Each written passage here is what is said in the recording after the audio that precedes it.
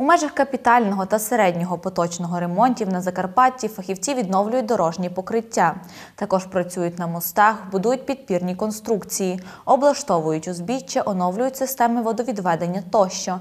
Завдяки президентській програмі Володимира Зеленського Велике будівництво протягом 2021 року якісне полотно влаштували на 238 кілометрів доріг державного значення та на 73 кілометрів місцевого, підкреслив очільник краю.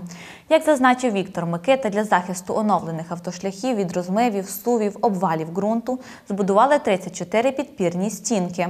Протягом року також вдалося модернізувати 58 мостів, зокрема і найдовший шляхопровід області у селищі Батьово.